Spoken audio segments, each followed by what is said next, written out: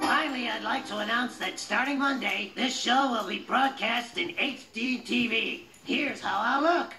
Huh? That's right. Look at your hero! good night, everybody.